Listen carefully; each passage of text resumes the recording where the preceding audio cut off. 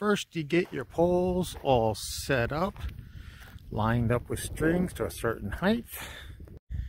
Next, you find a little spot to set your cement mixer on. Then you need to get your cement shovel, your tub to pour the cement into, into once it's mixed, watering, measure out your water, and a tamper.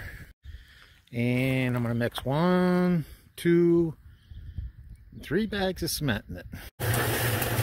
Dump the mix into that bucket. And then it goes into there. You can't see it. And I also add a little water and cement. And that's what 180 pounds of concrete looks like mixing up. Next, it's getting poured from there into there and then from the shovel into the holes. Then comes the fun part of cleaning it all up, spraying everything down with water, and cleaning up your empty bags. Woohoo!